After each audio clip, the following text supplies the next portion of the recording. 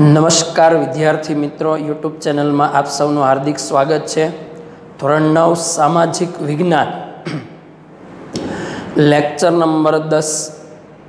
એમાં આગળ વધીએ તો, છેલ્લે આપણે આમુખના આધાર સ્તંભોમાં વાત કરેલી કે ઘણા બધા આધાર સ્તંભો છે. પરંતુ આપણે ત્રણ આધાર સ્તંભોની ચર્ચા કરવાની હતી.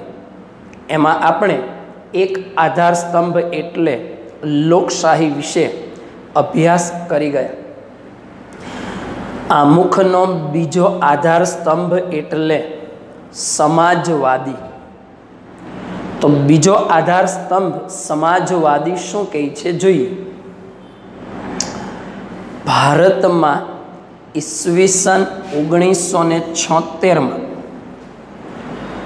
કટોકટીના શાસન દરમિયાન બેતાલીસમાં બંધારણીય સુધારા પ્રમાણે આમુખમાં એક સમાજવાદી શબ્દને ઉમેરવામાં આવ્યો.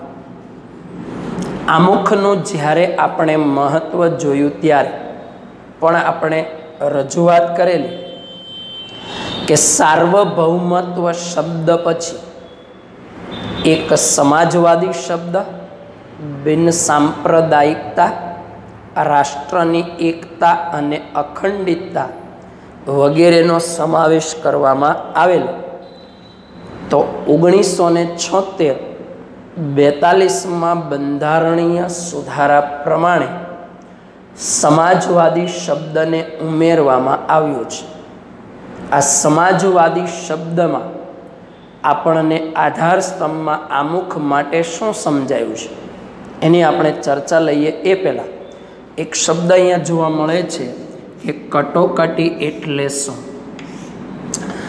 તો કટોકટી એટલે આપણને સામાન્ય રીતે ખ્યાલ આવતો જ હોય કે આપણે જ્યારે બજારમાં વસ્તુ ખરીદવા જઈએ અને જેટલા રૂપિયાની વસ્તુ ખરીદવાની હોય અને જેટલી વસ્તુ ખરીદવાની હોય અને એટલા પૂરતા પૈસા આપણી પાસે ત્યારે ન હોય, તો આપણને સમજમાં આવે કે નાણાંની પૈસાની કેટલીક કટોકટી જોવા મળે છે.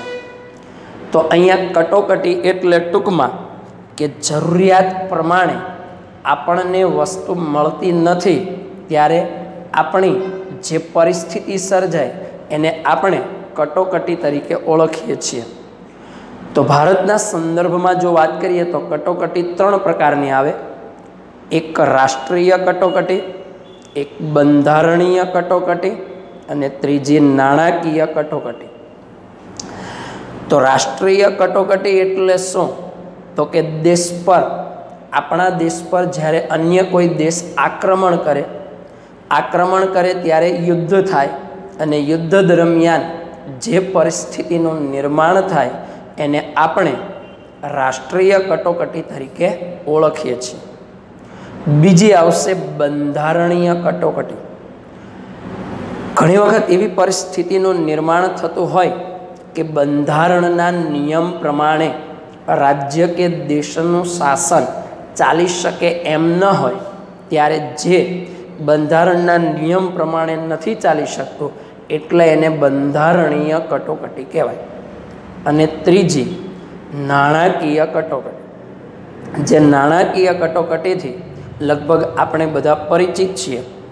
અત્યારે કોરોના વાયરસની મહામારીને લીધે કેટલીક પરિસ્થિતિનું નિર્માણ થયું, એમાં દેશ નહીં, પણ આખા વિશ્વની અંદર નાણાકીય કટોકટીનું સર્જન થયેલું જોવા મળે છે. જેનો સામનો લગભગ બધા જ લોકોએ કરેલો છે, એટલે નાણાકીય કટોકટી કોને કહેવાય? એનાથી લગભગ આપણે પરિચિત થઈ ગયા છીએ. તો ભારતમાં ઓગણીસો છોતેરમાં જ્યારે કટોકટીનું શાસન હતું, ત્યારે બેતાલીસમાં બંધારણીય સુધારા પ્રમાણે આમુખમાં એક શબ્દ ઉમેરવામાં આવેલો, જે છે સમાજવાદી. હવે આપણે આગળ વધીએ તો.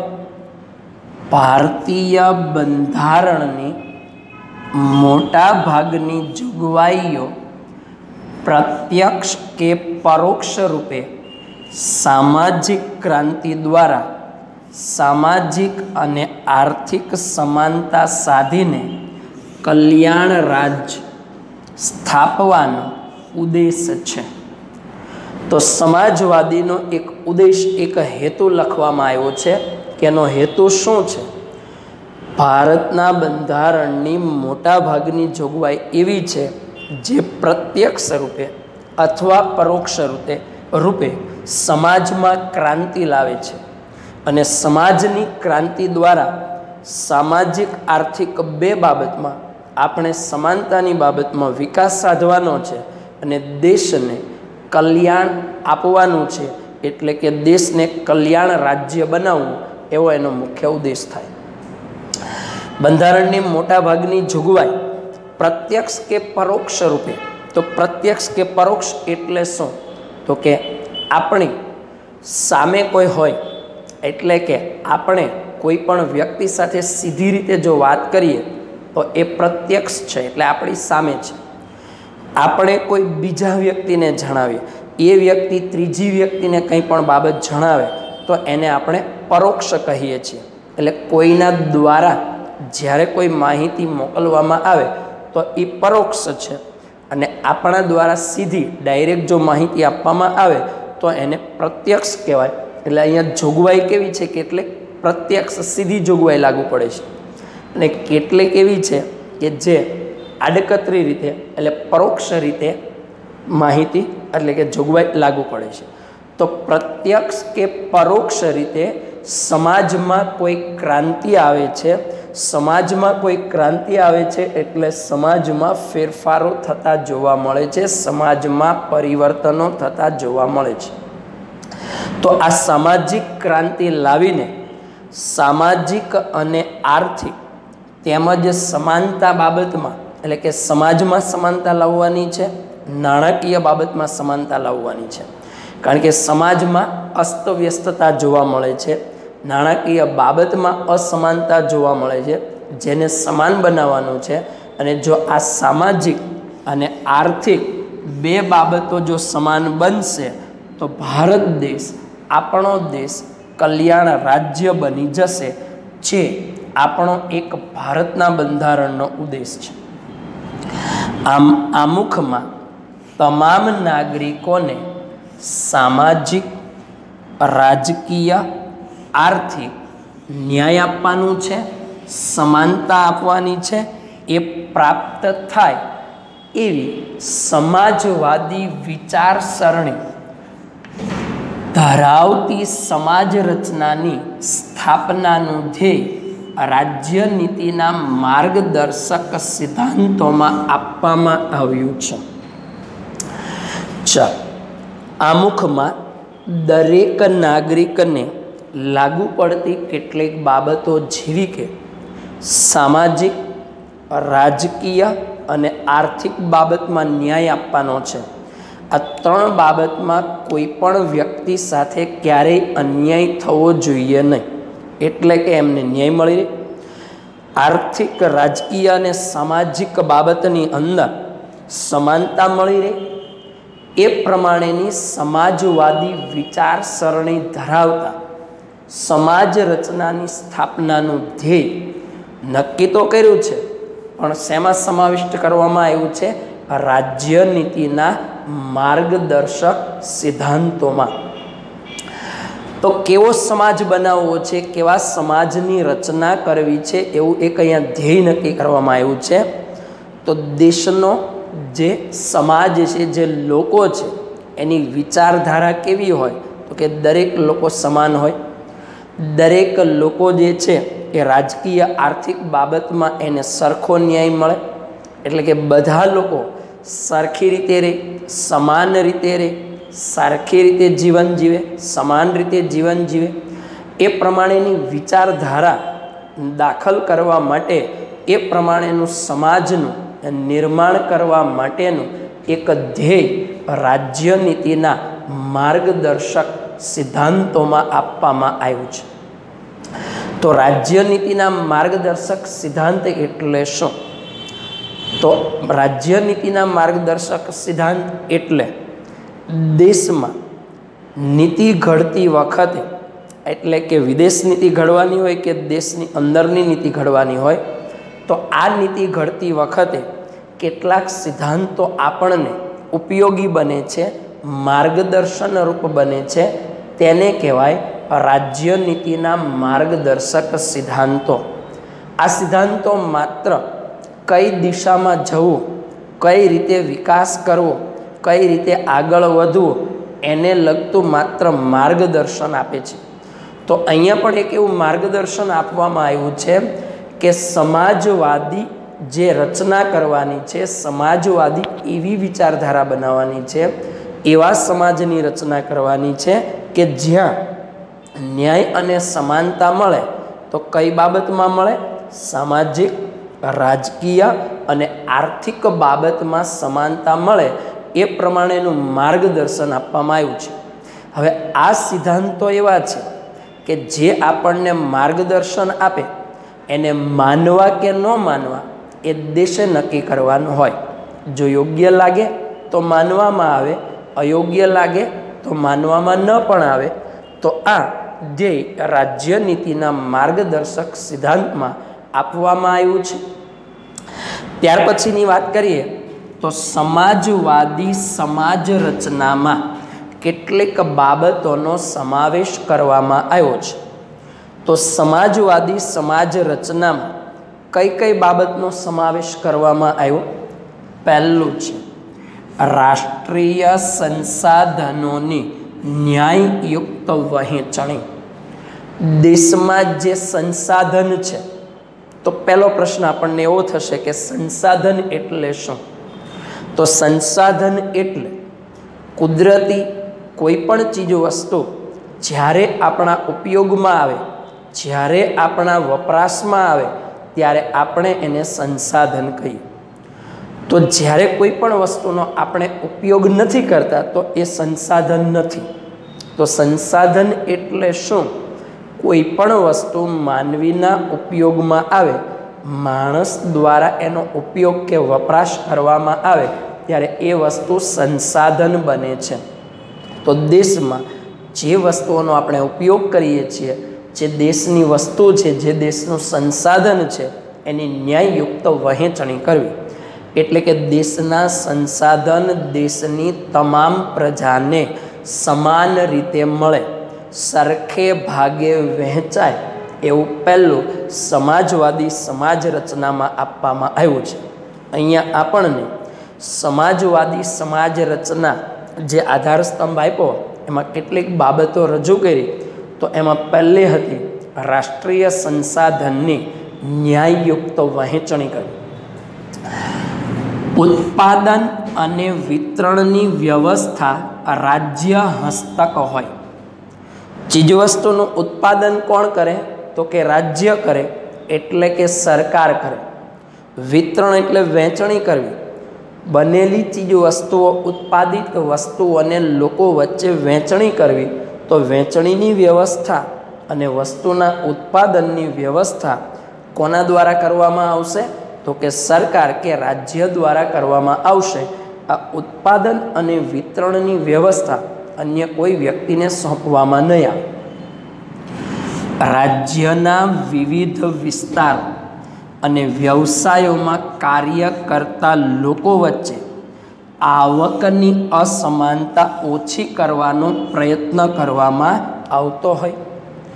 બીજું શું સમાજ રચનામાં નક્કી કરવામાં આવ્યું?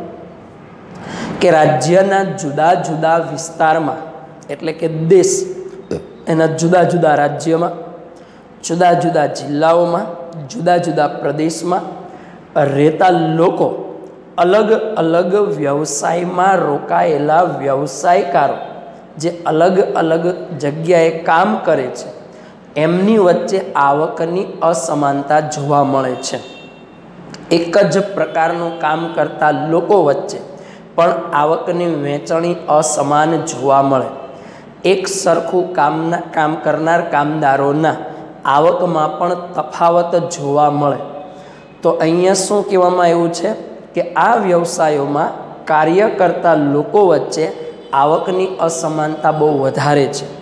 અમુક વર્ગની આવક એવી છે, ખૂબ જ વધારે છે.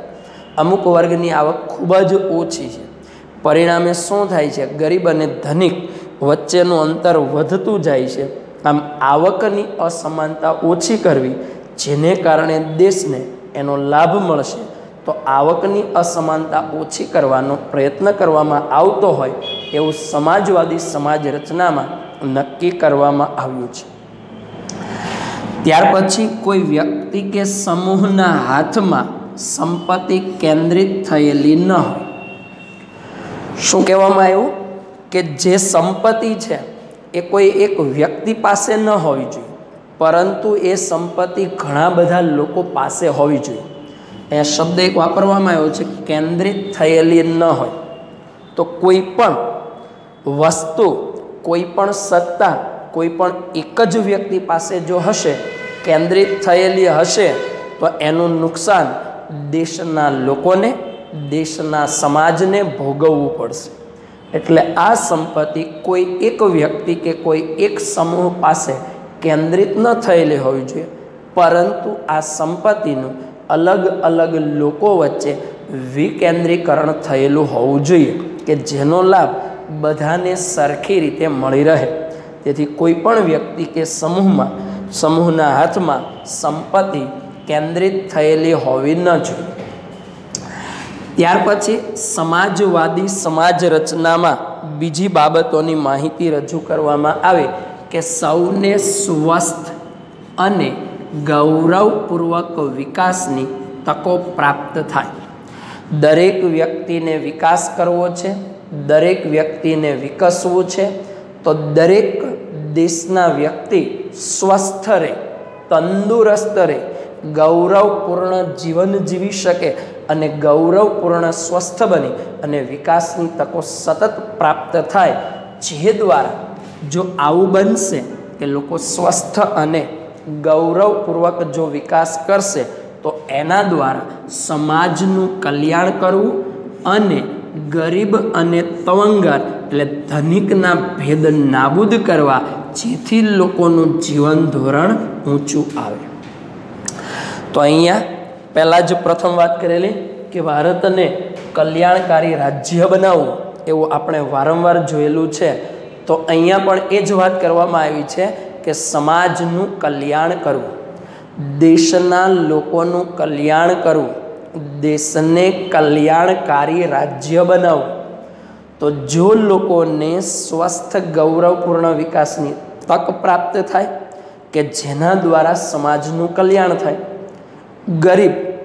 ગરીબ બનતો અટકે, ધનિક. ધનિક બનતો અટકે, બંને વચ્ચેના જે ભેદ છે, બંને વચ્ચેના જે અંતરો છે, એ અહીંયા દૂર થાય. અને લોકો ઊંચું જીવન ધોરણ જીવી શકે. લોકોનું જીવન ધોરણ ઊંચું લાવવામાં આવે એટલે દરેક વ્યક્તિ ઊંચું જીવન ધોરણ જીવવાનું વિચારી રહ્યું હોય.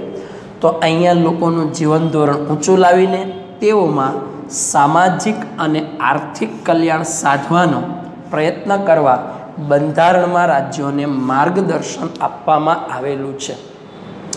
તો શું કરવામાં આવેલું છે? ત્યાર પછી કે સ્વસ્થ, ગૌરવપૂર્ણ જીવન જીવી સમાજનું કલ્યાણ કરી, ગરીબ ધનિકના ભેદ નાબૂદ કરી અને લોકો જીવન ધોરણ ઊંચું લાવે કે જેને કારણે તેઓનું સામાજિક, આર્થિક કલ્યાણ થાય સામાજિક, આર્થિક વિકાસ થાય અને એ પ્રમાણે કલ્યાણ સાધવાનો પ્રયત્ન બંધારણમાં રાજ્યોને માર્ગદર્શન આપેલ છે. તો બંધારણ દરેક રાજ્યને એવું માર્ગદર્શન આપે છે કે જ્યાં લોકોનું જીવન ધોરણ ઊંચું આવે, લોકો ઊંચું જીવન ધોરણ જીવી શકે અને પોતે પોતાનો વિકાસ કરી શકે. તેથી ભારતીય બંધારણને એક સામાજિક દસ્તાવેજ તરીકે પણ ઓળખવામાં આવે છે. તેથી ભારતીય બંધારણ એક સામાજિક દસ્તાવેજ છે. તો આપણે જોયું કે સમાજવાદી સમાજ રચનામાં કઈ કઈ બાબતોનો સમાવેશ થાય. તો સમાજવાદી સમાજ રચનામાં પહેલું છે રાષ્ટ્રીય સંસાધનોની ન્યાયયુક્ત વહેંચણ, ઉત્પાદન અને વિતરણ વ્યવસ્થા. રાજ્ય હસ્તક હોય, રાજ્યના વિવિધ વિસ્તારો અને વ્યવસાયોમાં કાર્ય કરતા લોકો વચ્ચે આવકની અસમાનતા દૂર થાય એવો પ્રયત્ન કરવામાં આવતો હોય.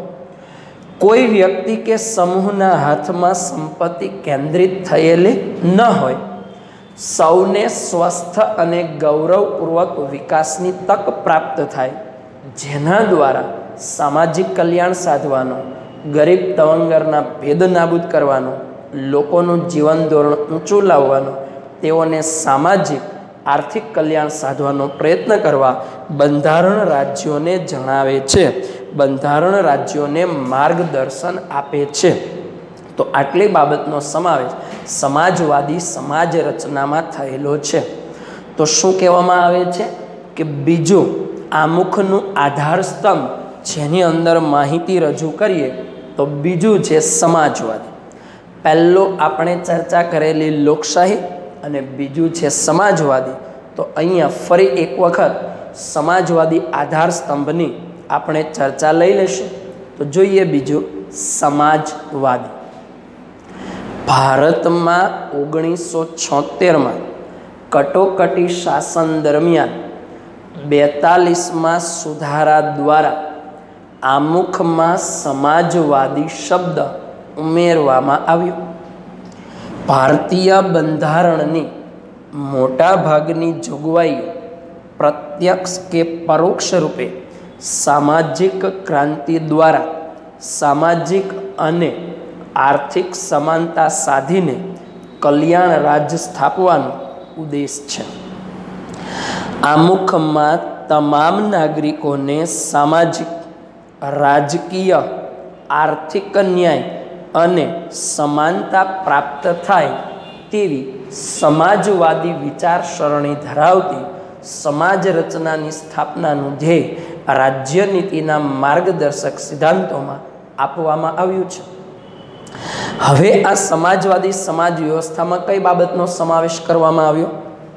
રાષ્ટ્રીય સંસાધનોની ન્યાયયુક્ત વહેંચણી ઉત્પાદન અને વિતરણ વ્યવસ્થા, રાજ્ય હસ્તક હોય, રાજ્યના વિવિધ વિસ્તારો અને વ્યવસાયોમાં કાર્ય કરતા લોકો વચ્ચે આવકની અસમાનતા ઓછી કરવાનો પ્રયત્ન કરવામાં આવે.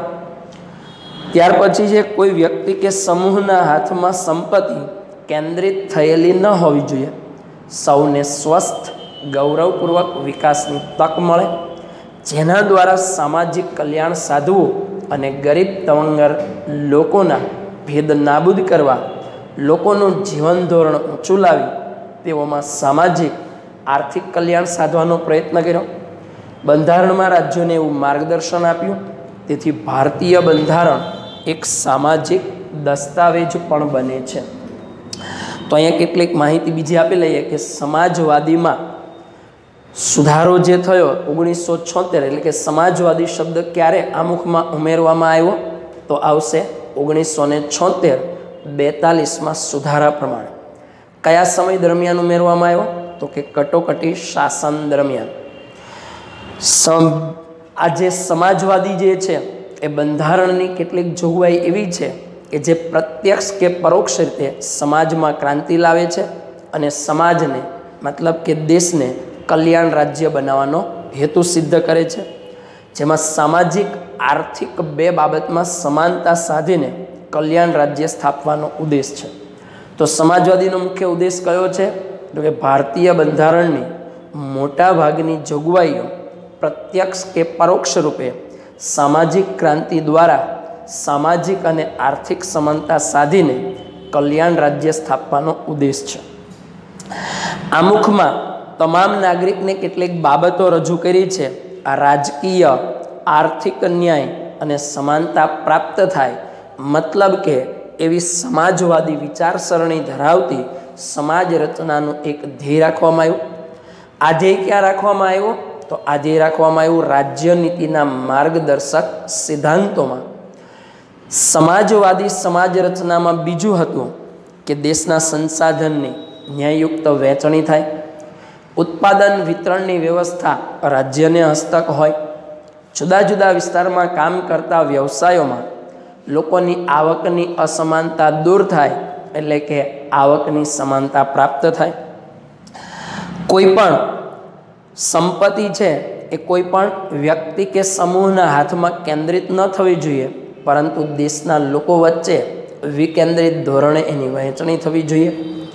દરેક વ્યક્તિ સ્વસ્થ, ગૌરવપૂર્ણ, ભર્યું જીવન જીવે, વિકાસની તકો પ્રાપ્ત કરે અને ત્યાર પછી ગરીબ ધનિક વચ્ચેના અંતરો દૂર થાય, સામાજિક કલ્યાણ થાય, લોકોનું જીવન ધોરણ ઊંચું આવે, દેશનો સામાજિક આર્થિક બાબતમાં વિકાસ થાય, જેથી દેશ કલ્યાણ રાજ્ય બને એવું માર્ગદર્શન બંધારણમાં આપવામાં આવ્યું. આ બધી બાબતોને આધારે એવું કહી શકાય કે ભારતીય બંધારણ એક સામાજિક દસ્તાવેજ છે.